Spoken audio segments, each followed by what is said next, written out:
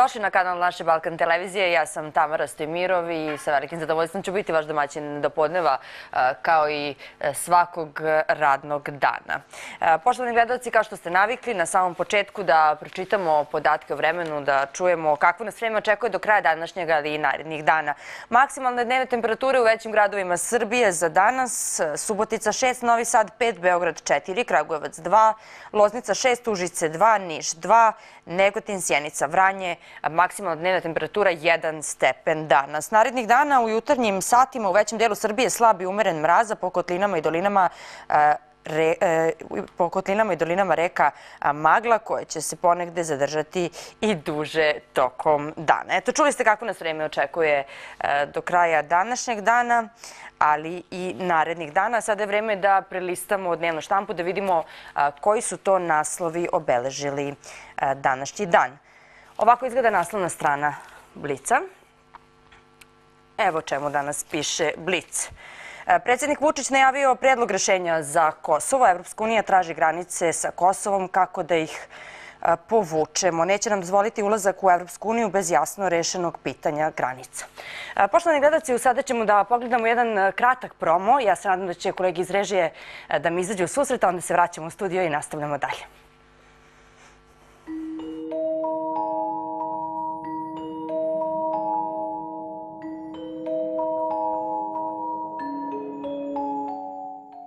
Gledajte našu Balkan televiziju, televiziju istine.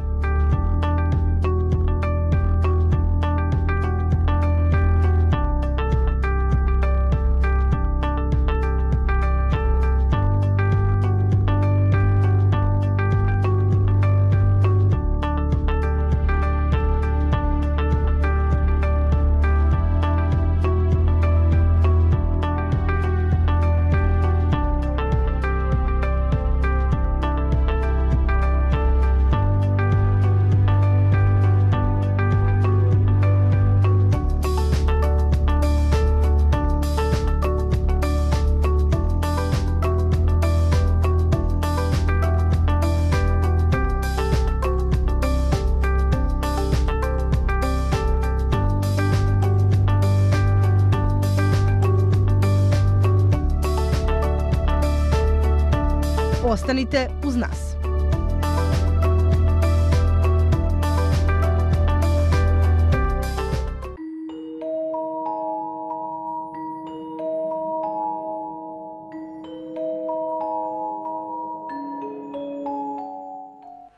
Poštovani gledalci, nastavljamo dalje sa sadržajem naše emisije. Broj telefona na koji nam se možete javiti je 011 265 0485. Na moje veliko zadovoljstvo meni se pridružila e, Jovanka Zečević, e, ona je advokat. E, dobro jutro i dobrodošli. Dobro jutro, bolje vas našli. Kako ste? Dobro je, hvala. Dobro, uglavnom trudimo se da budemo dobro, da izbjegnemo sve ono što nas sekira i da dan prođe najbolje što umemo da ga organizujemo. Jel uspevate u tom? Pa da vam kažem, uspevam. Moj posao je takav da u principu kao i vaš ne znate s kim ćete baš ceo dan da provedete i ko će sve da vam dođe u goste. Tako i kod mene, klijenti. Ali dobro, gledam ono najbolje da izvučemo, što kažu. Ovaj, kakve su ti misli, takve su ti dela. Tako da, eto, to je negde, što kažu, trudimo se da nam ovu godinu obeleži nešto lepše nego prošlu. Pa eto. Šta je obeležila Jovanka u vašem poslu početak ove godine? Pa početak ove godine smo, da kažem, proveli možda malo svi odmornije, gledali da pobegnemo od obaveza, a onda smo se vratili, eto, opet susreli sa, sa onim što smo ja se nadam ove, i želeli svi da ostavimo u prošloj godini. To su ta čuvena nasilja o kojima smo pričali ovde kod vas i trudili se da utičemo na sve ljude da drugačije razmišljaju. E sad, ove godine imam utisak da se to proširilo i na škole, od osnovnih, mhm. srednjih, naročito što nas strašno plaši, jer imam utisak da je taj stepen agresije toliko povećan da prosto više ne znamo šta je ono što bi moglo na najbolji i najefikasniji način da ga što brže spreči. Kao i svi roditelji, evo i ja, trudim se da to nekako deci najjednostavnije objasnite šta je vrednost, šta je ono što u životu treba da utiče i šta je ono što treba da ostvaruju. Međutim, imam utisak da E, sve više. Ja mislim da i ta sad, ja ova starija generacija, mhm. kaže moja deca, ti si stara Jugoslavije. Jesam. Ovaj, definitivno imam utisak gdje ova tehnologija doprinela da je oni na jedan drugi način funkcionišu. Ja ako posmatram moju decu, oni provedu ceo dan i najviše prste vežbaju igrajući se igricama i tim PlayStationima, vrlo malo komunikacije. E sad, i mi smo naravno prosto moramo da budemo na poslu, bavimo se da bismo neku egzistenciju normalno obezbedili i imam utisak da malo vremena provodimo sa njima i deluje mi da nema dovoljno komunikacije, da je to ono što je obeležilo ovu godinu, početak, nažalost, to su ta vršnjačka nasilja. I to je nešto gde se ja u zadnje vreme susrećem da e, dosta klijenata e, su, nažalost, maloletna lica, odnosno roditelji dovode svoju decu koja su napravila neki problem. Da li su to tuče, da li su to još, da kažem, ovaj, gora varijanta, posjedovanje droge ili, ne daj Bože, stavljanje u promet, to je nešto što je onako meni obeležilo ovu godinu i moram da vam priznam, vrlo me uznemirilo i nateralo da razmišljam u pravcu toga da moramo naći neki način da se to spreči, a imam utisak da ga je sve više.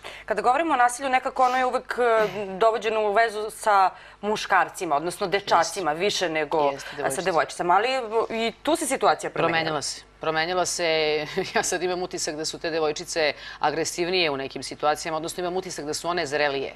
I taj stepen zrelosti umesto da ide ka onom pozitivnom načinu, da one tom zrelošću stiču i neke vrednosti, razmišljanja, imam utisak da ta zrelost doprinosi da one e, na jedan pogrešan način stiču snagu i da tom snagom žele da nekom represijom stiču e, neku vrstu da, popularizacije, da kažem, u društvu, što je nešto što je po meni potpuno absurdno. A s druge strane imam utisak da nisu svesne da e, dela koja naprave su dela koje potpadaju pod krivična dela, da su to stvari za koje odgovaraju, da postoji sud koji se bavi maloletnicima, da su to kazne koje počinju sa nekim izricanjem mera pojačanog nadzora roditelja, pa ne znam, nekim drugim, da kažemo, merama gde se to pokušava da spreči, ali nije neminovno da one mogu da dobiju jednog dana i zatvor. Ali e, da li se o tome dovoljno e, kod kuće ne razgovara? Ali imam utisak da se mediji tima bave, ja sad malo hvalim, imam utisak da ste vi puno emisija posvetili nasilju.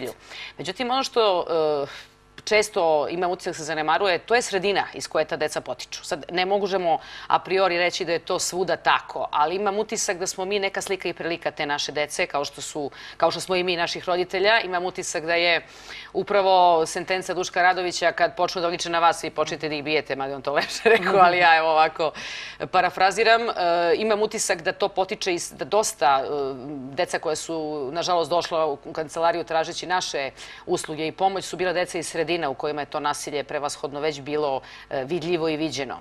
Tako da mislim da ljudi, roditelji koji sebi dozvole da to nasilje uopšte primene jedan prema drugome, e, prosto zanemare činjenicu da to deca gledaju i da deca sutra razmišljaju da je to normalno. Otac je udario majku, ona jednostavno možda to tad nije prijavila ili je prosto smatrala da se to više neće ponoviti, obično od jednog se ponavlja u dva, tri, pet, sedam. Onda krenu izvinjavanja, drame, pokloni i sve ono što ne može da zameni to što se desilo, niti da anulira.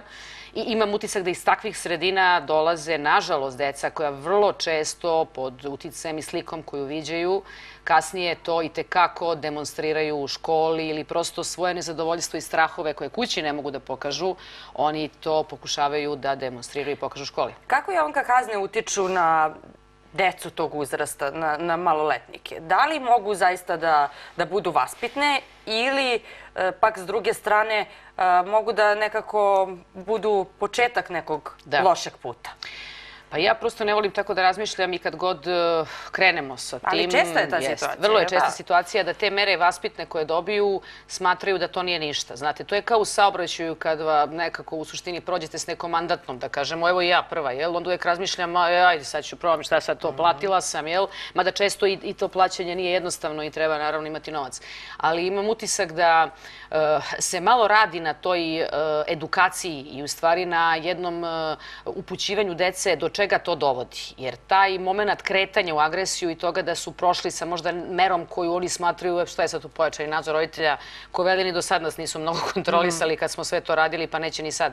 E sad tu je veliki i re- morao bi da se na neki način uključi i Centar za socijalni rad koji bi te kako tu edukaciju sproveo sa tim mladim ljudima, a i nama roditeljima, koji na neki način možda ne znamo često ni sami da se snađemo šta sad ta mera znači. Jel? Šta bi mi sad tu trebali da uradimo da se to ne bi ponovilo? Ja mislim da je uvek uzrok tu mnogo važan naći ga. Šta je to što je dovelo do toga da devojčice se međusobno biju ili njih više e, tuku jednu ili nanesu nekom povredu? Kakva je to satisfakcija kad vi vidite da je neko u bolu, strahu, u, u patnji? Šta je to što vi time dobijate? Mislim da se taj psihološki moment e, prosto e, negde zanemaruje i da mi svi u ovoj eri jednog strahovito brzog života. E, prosto jurimo, ja i sad brzo da mu to završim, jao da ne ide u pritvor, da ne ide u zatvor, daj brzo da nastavi školu. Nađe sad ćemo mi njemu da nađemo, Mhm. kupimo bolje patike, možda je to, možda mu je krivo što ova ima ovo. Ali mislim da to nije, da deca, e, iskreno, kad ja razmišljam, mislim da e, traže da provedete s njima vreme. Znate, nije najlakše dati novac nek idu u bioskop, treba da imate vremena da odete vi. A često nemate, jer ja recimo taj period skođem kod frizera. Mislim, e sad, mislim da je edukacija i psihološki moment e, vrlo važan, jer sigurno da je u glavama te dece nešto čim se e, odlučio na takvo postupanje i ponašanje prema svom, da kažem, drugaru, još gore ako je e, to dete koje su napali, često se to dešava mlađe. Onda znači je taj moment pokazivanja agresije evidentno usmeren na pokazivanje sile i, i pokušaja da se na neki način nametne u društvu, što je po meni potpuno pogrešno. E Nekako se Javanka pravi e, sve vreme paralela između 90-ih i ovih e, jest. godina sada. Evo, ka- kako vi gledate kroz prizmu e, vašeg zanimanja? Jest. Ima li logike to poređenje? Pa pazite, e, ima, ja sam to godište koje je prošlo 90. pa sam ovaj, slušala i tu muziku, sad onako pre neki dan razgovaramo pa kažemo evo ponovo, ne znam, jedan od tih e, pevača, nije ni bitno, pa snima, ne znam, neki singl i tako, pa sam prosto evo potkud on, sad je već u godinama da baš nije za snimanje pesme, ali dobro. Imam utisak da je agresija ono što nas plaši. E, Te 90. su bile početak, nažalost, ovih ratova i tad još nismo bili svesni šta nas čeka. Sad smo svesni, mi koji smo to videli ili neko prošao, smo svesni kako je to izgledalo. E, Ova deca ne znaju šta je to, njima to izgleda kao nešto interesantno, imam utisak da ne znaju da razlikuju vrednosti od nevrednosti i deluje mi da je to najveći problem, jer njima ta vrsta brzog zarade novca, jednog e, načina eksponiranja koji je vezan za skupu garderobu, brendiranu, ja vidim da moja deca znaju neke firme više nego što sam ja ikad u životu čula da postoje, tako da mi deluje da se malo radi i malo populariše znanje, ovo da je znanje moć, to misle da sam luda kad, kad njima govorim, jer imam utisak da je sve više popularizacija onih nevrednosti koje dovode do krivičnih dela, e onda dolaze kod nas i onda nastane problem, jer vi svakako čim jednom uđete u postupak, ipak je to jedno po meni, ob- obeleženi ste u svakom slučaju i trebalo bi da to bude jedna sramota, trebalo bi da to ne bude... Da li je da- to danas E pa sramota? nije, nije, Nije. jer moj e, utisak je da, i to sam se onako na neki način, kaže čovjek ismjera dok je Palata pravde još funkcionisala, dok nije krenula renoviranje, vi ste mogli da vidite najlepše devojke grada kako čekaju razno razne ove momke koje dovode da idu na suđenja. Pa ste se pitali je li moguće da je to mesto gde one treba da budu, našminkane doterane u 10 pre podne, a ne neka biblioteka ili neki fakultet gde će svakako da steknu znanje, gde će sutra moći da rade možda moj ili vaš posao ili bilo koji drugi. Tako da mi deluje da ne shvataju da su e, na pogrešnom mestu i da trebalo bi na te Sa momke pogrešnim da uti- ljudima. s pogrešnim ljudima, jer definitivno po meni opstaju samo vrednosti, samo znanje, samo ono što ćete sutra moći na neki način da unovčite svojim radom i svojim rukama, a sve drugo je potpuni absurd. Tako da dolazimo do onoga što smo vi ja počeli da pričamo, a to je da zapravo nasilja iz kuće vi imate u školama. I da po meni ovaj novi zakon koji, o kome smo baš, ja mislim, vi ja pričali nešto prošle da. A i sad danas i juče telefonom, jeste nešto što ne znam ni ja sama kako da, da ga objasnim. Definitivno, e, kad e, pogledate, on je doneo neke nove mere koje bi trebale da to spreče. Sa druge strane, imate ozbiljnu ulogu policije koja treba sada u situaciji kad neko prijavi nasilje da dođe i proceni da li je taj neko e, za pritvor odma od onih 24 sata ili nije. E sad, radilo se, kažu, na obuci ovaj, policijskih službenika i ja u to, ajde, ne mogu sad ni da sumnjam, da li jeste, nije, koliko i tako dalje. Ljudi završavaju ozbiljne fakultete. Završavaju ljudi, jeste. Za psihologiju. Jeste. za- Naravno, Pa. zato je pitanje da li oni mogu tom brzinom da Pa da, procene. da. I šta vi onda dobijate kad tog čoveka stavite 48 pa posle 30? Da li je on u tih 30 dana shvatio da je pogrešio, pa će kad dođe kući da se izvinjava svoje ženi i da menja svoje ponašanje ili će gledati na koji način da e, naplati sad sve te muke koje je prošao. Tako da nisam, ne znam ni sama šta da kažem. Definitivno da moramo nešto da menjamo, definitivno da novi zakoni donose promene, da se prilagođavamo, ali e, mislim da je najveći problem ono što sam juče smo malo pominjale, jeste i ta jedna ekonomska nezavisnost o kojoj ja mislim da treba opet razgovarati raditi i mislim da je i i neophodno da dame koje uđu u tu situaciju, koje prosto e, kažu ja nemam kud, ja ne mogu da se razvedem, ne smem, ja ne znam od čega ću da živim. E, mislim da je velika stvar na početku razmišljati o tome da nešto sa sobom uradite, zarađujete, imate svoj, da kažemo, dinar koji vam daje mogućnost da se oduprete i da ne dozvolite da budete žrtva. Jer vi kad jednom uđete u tu kolotečinu, vi smatrate proći će, proći će, onda ide jedno, drugo, peto, sedmo nasilje i tu više nema kraja. Da, gde Taj je jedan šamar, tu je, Tu je i drugi. I drugi, da. Da. Ima neko na telefonskoj vezi. Dobar dan, poštovanje. Dobar dan i poštovanje. Ko je sa nama? Voditeljko, poštovanje. Znate ko je? Znamo, znamo. Na režija ima moje ime, ne bi iz određenih razloga spominjala, ne krem ga, ali hoću da vam kažem nešto. Nema opravdanja za roditelje, čak i razvedenih gde podjednako dete provodi kod oca i majke. Dete se tretira kao mali čovek, kanališe se i podjednako se angažuju otac i majka oko deteta. Molim vas, a, dete treba voditi na predstave u bioskope. Mobilni, po mome, treći, četvrti razred. Razne igrice koje razaraju mozak, hvala ti Bože, ukinuše ove crtane jezive filmove koje su deca bila okupirana, ali su zato navukli sindrom strahova. Ja imam primjer dobro razvedenih roditelja, čerka i zet, sa dogovorima se podjednako angažuje. Što se tiče škola, pedagog je veza između nastavnog kadra i problemima koje nastaju. Direktor je meni odgovoran za sve što se dešava, mora da prati situaciju između razrednih nastavnika, moj unuk je drugi razred, ajde, osam godina. Kada nastanu neki problemi, ne mogu da se predstavim, neurološki, onda se roditelji iskupe, svi se poteraju na psihoterapiju, znate. Jer detetom se treba baviti, šta god da radite, e, roditelj je Bogom dan, nije biran i dete je zaslužilo apsolutno da mu se pruži u okviru skromnih mogućnosti sve što treba, a ne prvi razred mobilni, pa krađe, pa tuče. Nijedno dete neće biti nasilnik gde roditelji i razvedeni podjednako provode i bave se detetom. Ukoliko roditelji ne vode računa o načinu razgovora, onda se oni usmeravaju na razgovore kod psihologa, jer jako je bitno da dete odraste u zdravoj sredini razvedenih, ne pričam za nasilje u okviru porodica, nemam slučaj. Ali dete je mali čovek. Posvetite mu se prvo roditelji, jer i nastavni kadar je drugo deo roditeljstva. Molim vas, možete ne podjednako provode vreme dete. I u školi i u kući. Znači zajedno, zajedno to dete ne može da skrene. Hvala vam na pažnji i prijatno. Hvala vam na pažnji i doviđenja, da, tako se kaže. Hvala vama što ste se javili, hvala na ovom izlaganju, ali evo, e, žena je rekla nešto što e, se meni na neki način dopalo. Nije mi se dopalo to što, što u porodici ima e, neko ko je razveden, ali je rekla sve su se lepo dogovorili.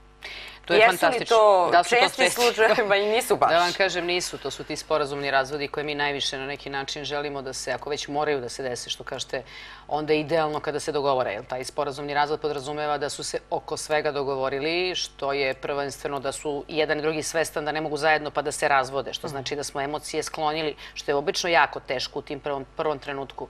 A ono što je najvažnije kod sporazumnog razvoda jeste pitanje kome će dete pripasti na samostalno, odnosno na vršenje roditeljskog prava, tačnije ono čuvena varijanta hoće kod tebe ili kod mene. Kod tih Dobro. sporazumnih varijanti znači da imaju zajedničko starateljstvo i da se upravo što dama je sada rekla, gospođa, oko svega su se dogovorili. Dakle, dogovorili su se i u koju će školu, dogovorili su se i da li će na engleski ili na, ili na francuski, dogovorili su se da li igra košarku ili futbal, dogovorili su se oko toga kada će ko da ga viđe, odnosno da li će da spava kod majke ili kod oca, odnosno na čijoj adresi će da bude prijavljen.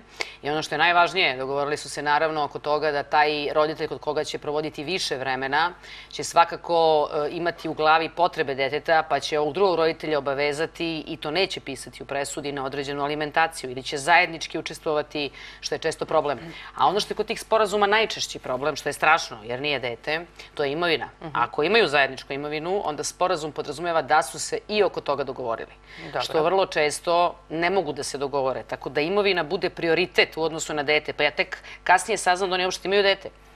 A da vam ne pričam, vide kome će naravno, kuća, kome će kuća, kome će viljuške, kome tepisi, ali ovaj, e, vrlo je često dete, da kažemo, instrument e, njihovih nerešenih emotivnih odnosa, gde ta borba oko deteta takve razmere dobija, da to dete zaista na neki način svoje muke koju trpi, svog straha, e, čak u situaciji da imate dete od 12 godina koje može da se izjasni u centru i koje je sad u užasnom strahu između roditelja koji su u areni, koji bukvalno imaju jedan ozbiljan boks meč, treba da kaže ja bi da živim kod, e, želeo bi ili želim da živim kod oca ili kod majke. Znači, to je strašno. E onda takvo dete nije ni čudo da u školi ili gubi koncentraciju ili na najmanju sitnicu reaguje na svog vršnjaka i agresivno mu lupi šamar ili ne znam, baci telefon na pod.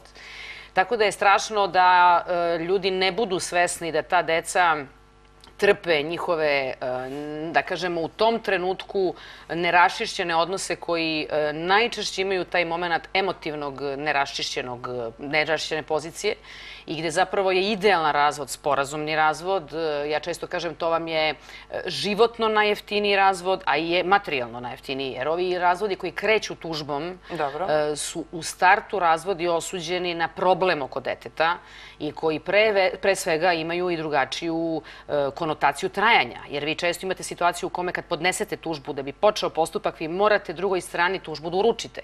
Ako on neće da primi tužbu, vi možete jednom, pa dva put, drugi put pozivar, treći put oglasna tabla, pa onda imate problem jer to nije dug, pa sad kao nema veze oglasna tabla, privremeni zastupnik i reši se. Dobro. Nego vi imate situaciju gde morate otići u centar za socijalni rad koji neminovno je uključen kad su deca maloletna, koji dobija predmet i koji saslušava i obavlja razgovore sa oba roditelja, a ako je dete u, godinama u kojima može da da izjava, to je 12, onda i sa detetom. I ako vi nemate ljude koji su spremni da sarađuju, koji su spremni da dogovore, nego imate neprekidan i tu problem, vi imate situaciju u kome centar mora da da nalaz koji ne odgovara jednom, pa onda ih zovete na suda dođu, pa onda neko dođe, neko namerno ne dođe, mislim, od stranaka da bi se to prolongiralo. Pa kad se završi taj prvi kontakt sa centrom, vi kažete nisam zadovoljan, hoću sada drugi stepen, to je recimo Institut za mentalno zdravlje, Palmotićeva ili Sudsko-medicinski odbor, gde onda idemo na još jedan ozbiljniji, ozbiljan korak, a to je veštačenje oba roditelja Dobro. i dete. Svo to vreme vi imate situaciju u kojoj mi dođemo na sutu, traje pola sata, sat, odemo, oni ostaju na ulici ili ostaju idu kući. Uh mhm. -huh. Najgore kad žive u istom stanu. Zamislite kad se vrate sa suđenja u isti stan i sad kao treba to dete normalno da krene u školu ili na engleski ili s drugarima u park. Imate situaciju u kojoj niko od nas, jer sad jurimo dalje ja na posao, vi u studiju, ovaj, ne znam već gde, niko sad ne razmišlja ili ne možemo ni da razmišljamo kako sad to izgleda kad oni dođu kući, Tačno, kako sad to funkcioniše, gde smo ja se borila protiv kolege, u strašno sam se dokazala tu sudu, nešto sam strašno važno, pametno rekla. I gde smo sad?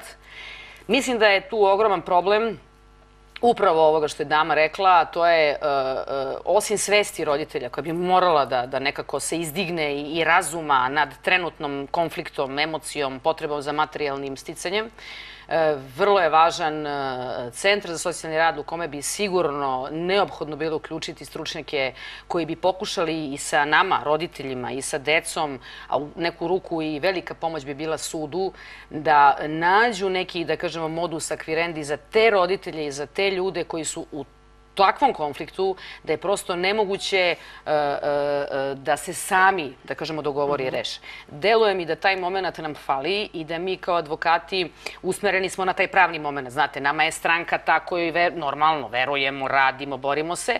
E sada, naravno, i naša uloga po meni mora da bude uh, ta da smirimo, da objasnimo, da pokušamo sa koleginicom koja drugu stranu zastupa da razgovaramo, da to bude 1, 2, 5, 7 sastanaka, da se tu nađu neke i okvirne cene normalne, da sad ne bude imamo 7 sastanaka sastanaka da bi ih naplatila, naravno. Dobro. To nije u redu ili mi živimo tog posla. Ali definitivno to mora da bude neki, neki način da se pomogne, jer po meni vi ste uspešno uh, razvod završili, da kažemo, tu parnicu, onda ukoliko ne postoji šteta za dete i ukoliko ne postoji nikakva šteta zdravstvena i psihička. Pa koliko je danas uspešnih parnica?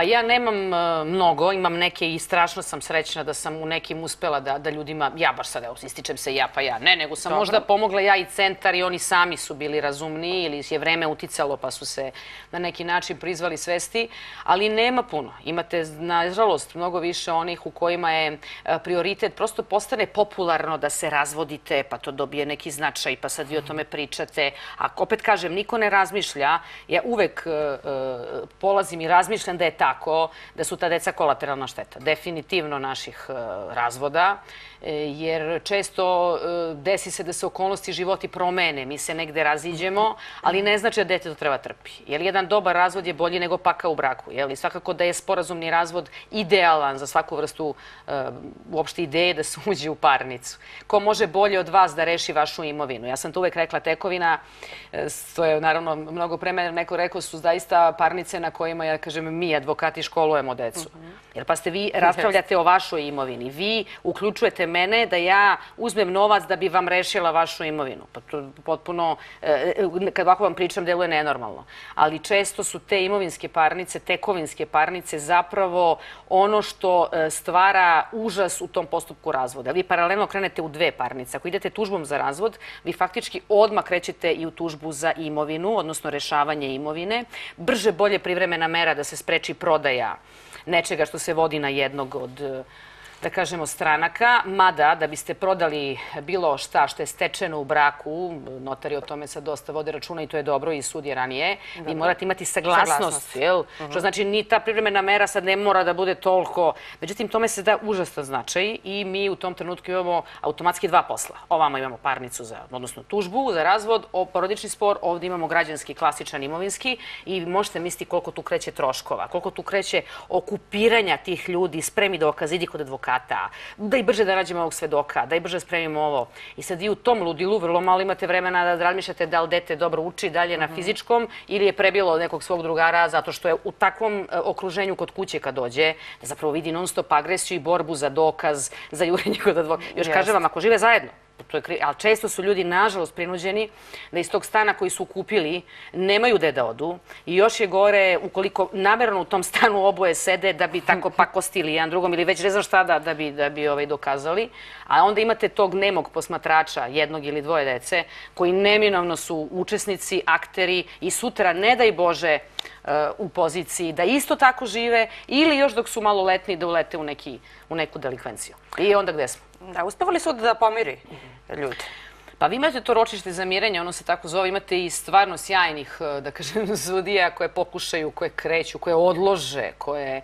Međutim, imate često zaista ljude koji jednostavno, mislim, uopšte ne, Rešili nema, su i rešili su, ali kad su rešili pa su se dogovorili, odlično je. A ako su rešili pa su došli da nameću svako svoje, vi ste onda u problemu. Onda odmah ide predmet u centar, odmah, odmah krećete s nalazom centra socijalni rad, onda to ne valja pa idemo na ovaj drugi stepen da se ne ponavljam i onda smo jednoj ozbiljnoj, što porodičnoj problemu. E, ako još uključite što je novi porodični zakon, sad već važi dugo, e, doneo, to je ta mera zaštite od nasilja. Pa kad podnesete tužbu za razvod sa merom zaštite od nasilja, Dobro. gde vi imate praktično jednu ozbiljnost mnogo veću od razvoda, to je nasilje koje može da bude i psihološko, tipa uvreda, ono konstantnog maltretiranja, ni podaštavanja i tako dalje, do ne daj Bože fizičkog, pa paralelno imate to ili imate tužbu za razvod sa posebnom krivičnom prijavom za nasilje, pa vi imate cirkus. Ima li zloupotreba? Pa znate šta, ima. Ima zloupotreba jer je to opet onaj imovinski moment prioritet, pa ćete vi to sve da zloupotrebite da biste vlasnika stana na koga se stan vodi isterali iz stana, jel? Kako bi vi ostali u stanu dok se sad tu nešto ne desi. Ja lično mislim se time malo dobija, jer ipak na kraju, što kažu, pravda je spora, ali dostižna.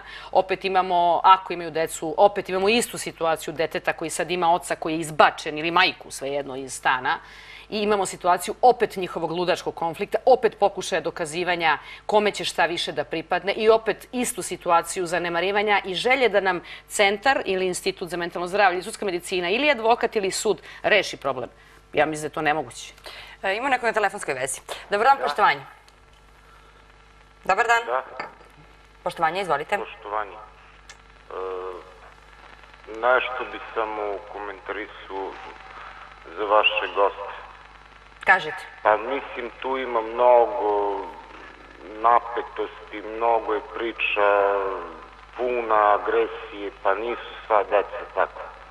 Evo, ja imam sina iz razvedenog braka, to je jedan dobar dečko i dobar đak i jedno i drugo, pa nisu svi slučajevi tako. Ja imam slučaj sa bivšim suprugom da je ona mene nagradila i imam osam meseci me čeka zatvor. Ali to nema sa decom, znači dete je dobro, znači jedno drugo i ne bi mu šta da kažem, nisu naša deca baš tako ko što vi pričate. Dobro. Znači daleko od toga, znači 90% što ste rekli nije istina. Dobro, vi bolje znate možda. A možda i ne. imate- Hvala vam što ste se javili. Imate pitanje neko? U brakovima, znači, e, to je možda 10% u Srbiji o čemu vi pričate. Dobro, imate neko pitanje? A imam pitanje jedno samo za vas, što se tiče e, lažnog svedočenja na sudu. što se tiče parnic u vezi e, alimentacije kad vas neko tuži posle 8 godina. Dobro. Šta je pitanje? Eto, toliko. Hvala što ste se javili. Je- Jeste razumeli, jeste? Pa jesam, jesam. Ovaj, e, Potrudili dobro, ja se. da vam kažem nešto, slažem se naravno i drago mi je da je tako da gospodin ima, hvala Bogu, dobro iskustvo i mi se svi trudimo i naravno ne mislimo, ja se nadam da nismo pogrešno shvaćeni da mislimo da su sva deca. Ne, pokušali smo da pričamo po meni o tome da je Pa kad su deca agresija, dobra, dobra su, ali naravno, kad su i mi loša, ajde se da trudimo da i apelujemo. tu decu koja nažalost Jest. uopšte ne mislimo da su sama po sebi loše, niko ne Naravno. govori o lošoj deci, nego o tome da je nažalost agresija nešto što viđemo i molimo i želimo da apelujemo se spreči. Tako Što je. se tiče pitanja gospodina, ako sam dobro razumela, ali ja mu se izvinjavam ako odgovorim, a nije to bilo pitanje. E, Definitivno u situaciji u kojoj vi imate tužbu za razvod braka, vi obavezan element imate alimentaciju. Dakle, u situaciji u kojoj gospodin vidim da ima i, i nažalost krivičnu prijavu za nasilje, tako sam razumela da ima i presudu koju treba da, da izdrži, ako sam sve to ja sad brzo dobro razumela, ali nema veze. U svakom slučaju imam utisak da je presudom morala da bude rešeno pitanje alimentacije i da je to nešto što, nažalost, često, i ako niste u situaciji, vi prosto morate e, ob- tu obavezu ispunjavati. Ako je ta obaveza određena u visini koju vi ne možete da ispunite, imate opet mogućnost da tužite, da se to smanji i dokažete da mi je plata u momentu presude bila, ne znam, 40.000, sad je 25, što znači ne možete davati 15.000 s platom od 25. Definitivno neka srazmera u potrebama deteta i vašim mogućnostima mora da postoji. Ako se alimentacija ne plaća po presudi, naravno da postoji mogućnost e, instrumenta izvršenja, da se naravno naplati ono što se duguje. Ukoliko su se okolnosti promenile, što je daj Bože uvek e, dobro, pa je situacija takva da vi sad mnogo više zarađujete u momentu kad je određena alimentacija, zarađivali ste manje. Svakako da je najpametnije da vi sami, ako možete, naravno detetu van onoga što je vaša obaveza i verujem da svi to roditelji ako mogu žele, apsolutno, pružite više. Ali naravno da ukoliko su se okolnosti promenile, imate veću platu i za to postoji dokaz, a vi dalje plaćate po nekoj minimalnoj, a detetove potrebe se menjaju kako rasti. Svakako da dete od dve godine nema istu potrebu kao dete od 12 koji ima i privatne časove ako mora i razne sportove, ne daj Bože ako ima neki zdravstveni problem, da je Bože da nikad nema, pa su i tu neke okolnosti drugačije. Svakako da postoji mogućnost da se tužbom traži povećanje, ako za to ima osnova. Ako nema, ne treba to raditi. Ovo nisam dobro gospodina razumela. Pitao je da za lažno ovaj- svedočenje, ali Aha, ako dobro, to, uporedimo da. početak njegovog izlaganja, bio je žena me malo nagrdila, pa sam dobio, pa je pitao za lažno Pa, svedočenje. Pa, da vam kažem, znate šta je sad problem? Problem je što vi upozoravate, naravno, i obaveze suda i su to radi, i postoji zakletva i sad svi smo mi svesni toga da je lažno svedočenje krivično delo. Ja lažu ljudi na sudu. Pa, pomalo, pomalo. Ove, pa imate naravno situacije u kojima je nešto dato mu mnogo veća dimenzija nego što jeste. Imate naravno situacije u kojima je e, čuveni makijevelistički moment cilj opravdava sredstvo i tekako prisutan. Da ste vi naravno spremni da biste ostvarili svoj cilj, da dajete nenormalnu dimenziju, da uključujete svedoke koji možda nisu baš direktno u tome i učestvovali, ali oni su opet spremni kao neko vaš koji situaciju poznaje, koji prosto želi da pomogne, ali često malo predimenzionira, da ne kažem sad lažu, to je prosto malo grubo, ne znam. Ali naravno da se dešava da često ta ocena sudska mora da bude izuzetno, mislim imamo stvarno e, situaciju u kojoj sudija mora da bude negdje i psiholog u trenutku i tekako procenjuje iskaze svedoka. To su stvari koje su vrlo važni dokazi, posebno u nedostatku materijalnih dokaza. Nikad imate materijalne dokaze, ne daj Bože, u tim naseljima lekarska uverenja, imate izjavu deteta, imate te situacije, vi imate i tekako važne dokaze, ali imate situacije tih nekih psiholoških nasilja da vi nemate Sem, naravno, onih ljudi koji, naravno, su već e, dovoljno svesni pa odlaze kod psihijatara, ljudi koji su, naravno, apsolutno kompetentni da im daju takvu vrstu izvešta. Pa imate materijalni dokaz, ali imate situacije gde vi pozivate komšije koji su nešto iz stana čuli. E sad, neko će čuo, neko nije čuo, neko je malo više čuo, iako toga nije bilo. Sad je to Neko pitanje. više voli Pa, muža, neko više voli ženu. Nekome simpatičniji muž. Da. A u stvari, eto, opet ja kažem, pa dolazimo u situaciju da neko treći treba da nam pomogne u našim problemima. Ovaj, tako da, nadam se da, da ovaj, gospodin bude u pravu i da ne bude ni 10% toga u, Srbiji i da to se smanji na 0,0010, bilo nasilja u porodici, bilo u, među vršnjacima. Tako da ćemo se truditi ovoj godini da sledeći moj dolazak bude nekad mnogo lepša tema, ne ovo ili ovoga neće biti. Eto, to bi bilo idealno. Bilo bi zaista idealno, Jest. ali nažalost situacija u, u, ne samo u zemlji Srbije, možemo da se uporedimo sa, sa tim zapadom, Zapadom, u kom da. toliko pričamo. Da li je tamo nekako sve na neki način civilizovanije kada govorimo o tim nekim sudskim procesima? Evo, Da. pri- pričamo o razvodu, pa možemo i to uzeti Jest. kao primer.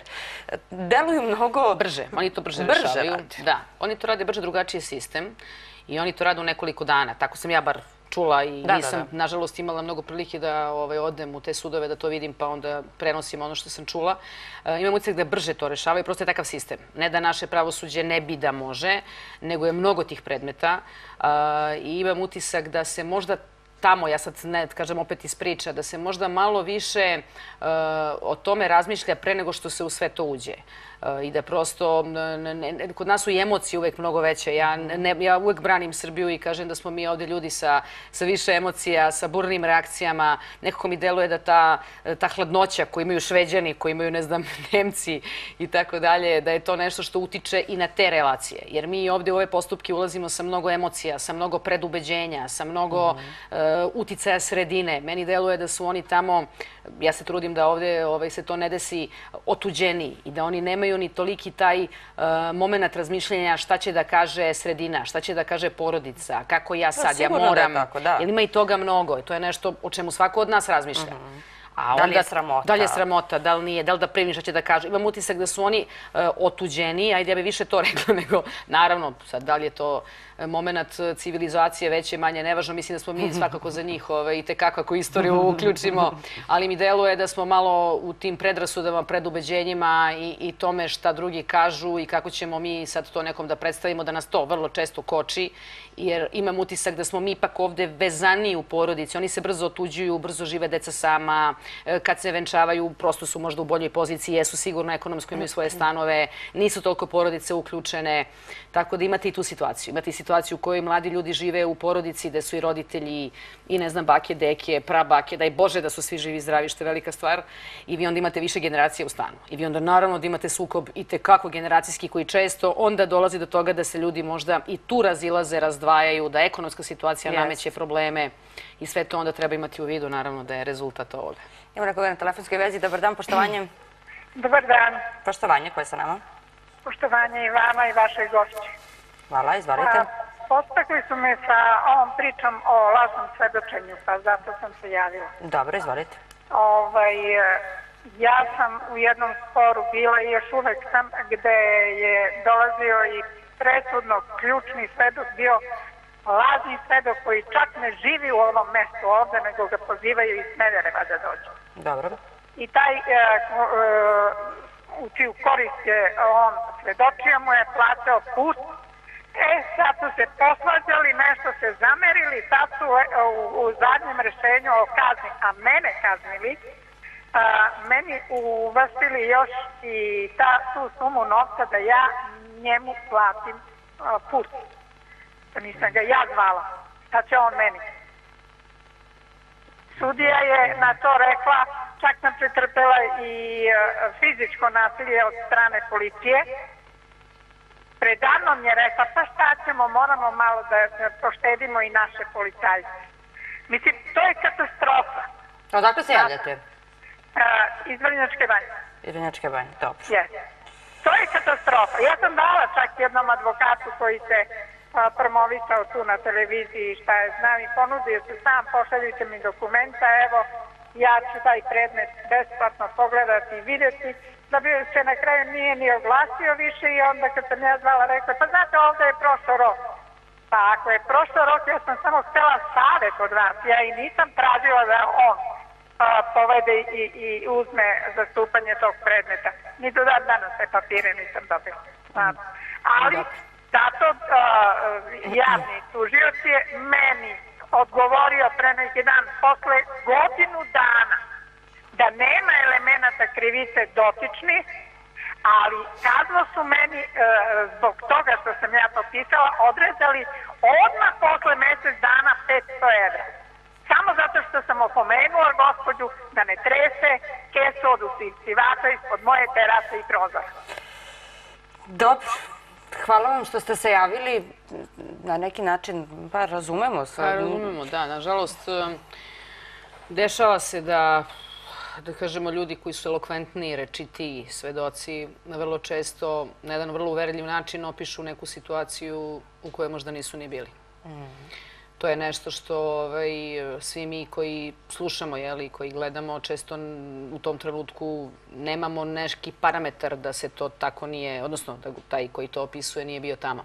Vrlo često nemate mogućnost da tad sudi dokažete, način da se to dokaže jeste možda prijeva prebivališta, da vidite čovek koji opisuje događaj iz Vrnjačke banje živi u Smederevu. Definitivno Smederevo da ipak ima da se putuje do Vrnjačke banje i da vi se pitate otkud taj čovek taj dan tamo. Jel, to je nešto što svakako treba ceniti.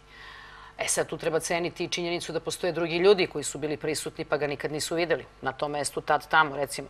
Dakle, to su sada načini da vi dokažete da to što je izneo nije istina. Ako vi to na neki način uspete da dokažete, vi imate krivično delo lažnog svedočenja. Sa druge strane, mi imamo situaciju u kojoj e, vrlo često, e, sad ja ovaj moment je gospođa navela za postupanje policije. Ja sad ne znam kako su postupali, šta se desilo, priznajem, ne mogu da komentarišem. Ali imate situaciju u kojoj možda ta reakcija njihova bude nešto burnija nego što bi trebalo. Vi kad podnesete pri krivičnu prijavu, vi sad imate problem, morate da dokažete to. Vi sad imate moment u kome ste vi bili sami sa, ne znam, dva, tri policajca, gde će s- dva, tri policajca, ako ste jednog ili svo troje, naravno da objasne da to nije bilo tako. Vi ako ste bili sami, pa nikog nije bilo tu, vi sad imate svoj iskaz, imate sad sudiju koji u principu ima tri iskaza, ovdje ima jedan, nemate neke povrede koje su vidljive. Uh, I sad imate jednu procenu sudsku koja ponekad možda i nije tačna i nije dobra. Nekad jeste. Ja sad zaista ostavljam prostor. Tako da imate situaciju u kojoj je tužilac verovatno zatrpan ogromnom količinom predmeta koja nažalost stiže, ne opravdavam, ali se desi, jednostavno ne stiže pa vi čekate sad godinu dana da vam odgovori, pa vam još negativno odgovori, pa po novom zakonu nemate mogućnost preuzimanja kao nekad oštećenih gonjenja, pa sad jeste nigde.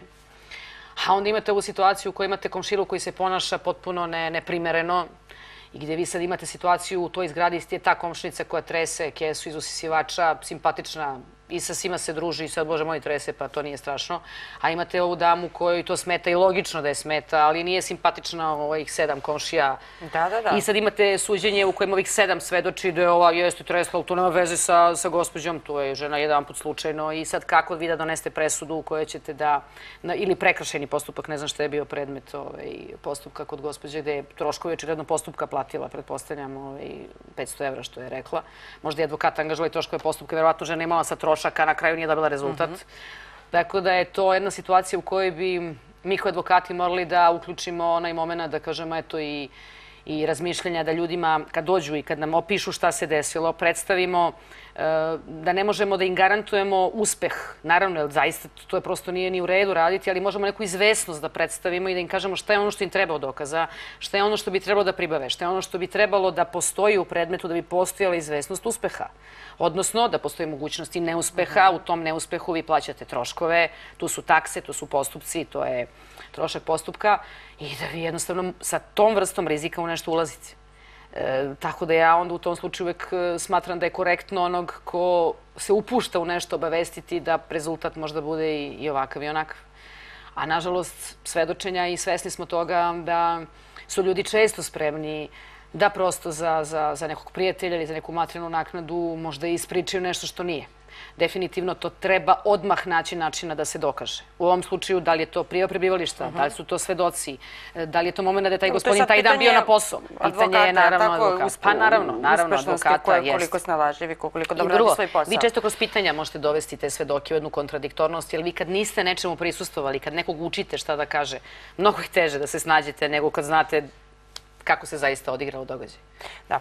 E, došli smo do samog kraja našeg, našeg razgovora. Meni je ovako br brzo proteklo vreme. Meni. Mnogo vam hvala na, na izdvojenom vremenu. Nadam se da a, su gledalci shvatili poruke koje smo Pa ja se tokom nadam ovog da nismo razgovora predstavili da, da je Srbija mesto sa nasiljem. Naprotiv, mislim da je Srbija predivna, predivna zemlja sa predivnom mladom e, trudimo se u stvari da što više bude ove mlade populacije, da se radi na tome i da ta deca zaista ovaj, uživaju u životu, u školi, u druženju i da ta agresija bude zanemarena. I ovo što smo pomenuli da vi i ja sledeću temu imamo neku lepu, o nekim lepim kupoprodajama, o nekim lepim novim, da kažem, uspesima naše dece i ovdje u svetu. To bi bio cilj, a ne naravno da promovišemo da je Srbija zemlja agresivne dece, da vam posla. Da. Ali hvala gospodinu jer nas je uputio da malo i lepo nešto kažemo. Pa dobro, ali tu smo nekako da apelujemo, da Da skrenemo se spreči. Pažnju. Da, se jeste, spreči. uvek. Jer, nažalost, bilo bi idealno da uopšte ne govorimo o procentima, nego da ti procenti ne postoje. Ja Tako mislim je. da ti procenti trenutno u Srbiji su mnogo veći od ovih, nažalost, koji bi bili dozvoljeni, a ne nešto drugo. Hvala vam. Mnogo vama hvala. Sve najbolje. E, Poštovani gledalci, narednih nekoliko minuta slede najvažnije vesti iz zemlje i sveta koje su od ovog trenutka obeležile današnji dan. Ostanite uz program naše Balkan televizije. Vidimo se brzo.